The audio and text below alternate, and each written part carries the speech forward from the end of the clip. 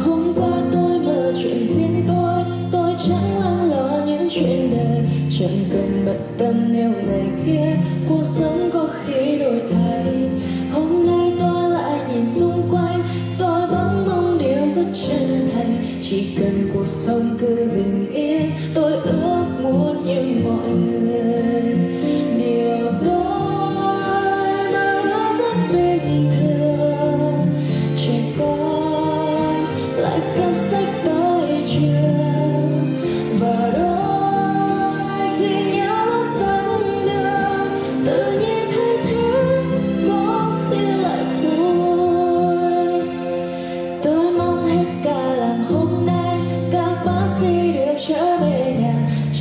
người nào đâu ôm hiểm nguy bác sĩ